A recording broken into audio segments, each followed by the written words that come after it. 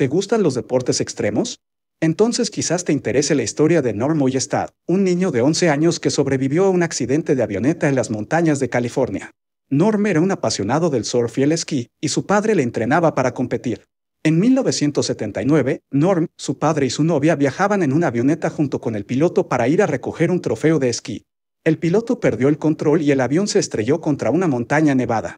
Norm fue el único superviviente, pero estaba herido y desorientado. Siguiendo su instinto y su experiencia, Norm descendió por la montaña esquiando y caminando, sorteando los obstáculos y los peligros. Después de nueve horas, Norm llegó a una carretera donde fue rescatado por un guardabosques. Norm perdió a su padre, pero no su pasión por los deportes extremos.